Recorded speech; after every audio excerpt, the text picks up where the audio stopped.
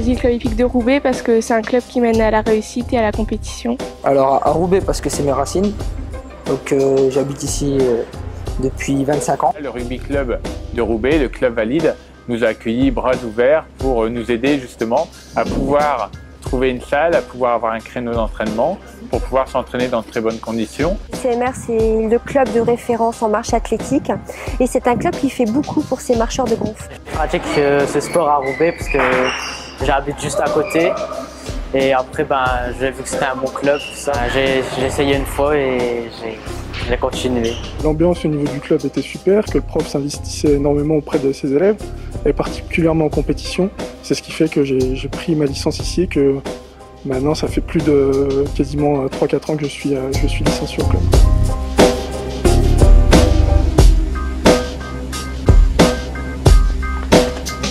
Le meilleur moment de ma carrière, c'est quand j'ai été félicitée par mes coachs et quand j'ai gagné euh, les championnats de France. Le 3 novembre 2012, euh, un galop que Jacques Aspel a organisé, c'était une ceinture Kawan élite euh, contre Thomas Le Sage.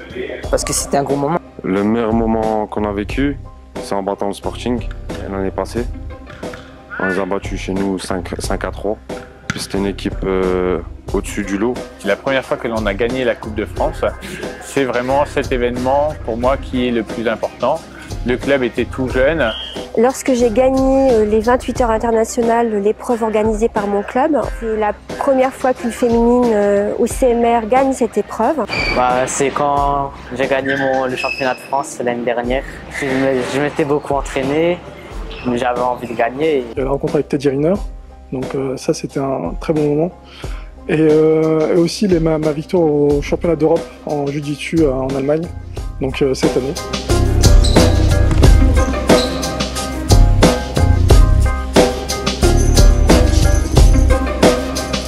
j'ai la ceinture Waco Europe euh, au mois de février.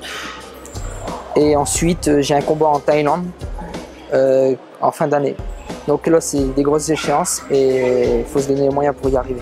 Les objectifs pour, comment, pour le club aujourd'hui, c'est très clairement de réussir à repartir sur, euh, on va dire, au plus haut niveau du rugby fauteuil en France. C'est d'atteindre la Ligue 1 pour, euh, comment, en championnat de France et d'atteindre le trio, euh, le podium pour la Coupe de France.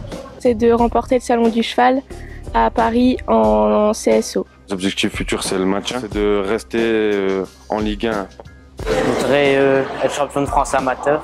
Si c'est possible, j'aimerais bien en faire mon métier. Mon rêve, le Graal, gagner le Paris Colmar un jour.